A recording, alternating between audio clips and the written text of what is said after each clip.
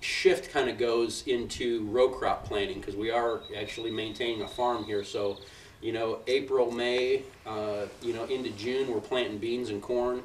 Um, you know, we're, we're mowing waterways, we're, we're doing stuff like that. And, uh, you know, so we don't have a whole lot of time devoted to our, our food plots. We're allowing our spring work to carry our deer into the summer months.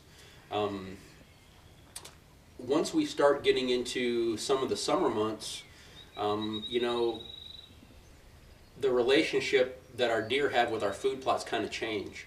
Um, what we're interested in, since we are row crop farmers, is keeping our deer out of our corn.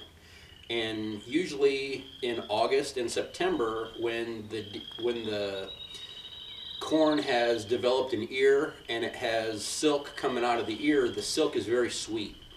And so the deer will spend the majority of their day in a cornfield. They might go down a row and eat silk off of 50 to 100 corn plants.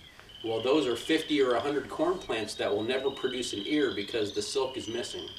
So what we want to do is we want to identify when they are targeting our row crop and we want to give them um, a supplemental food.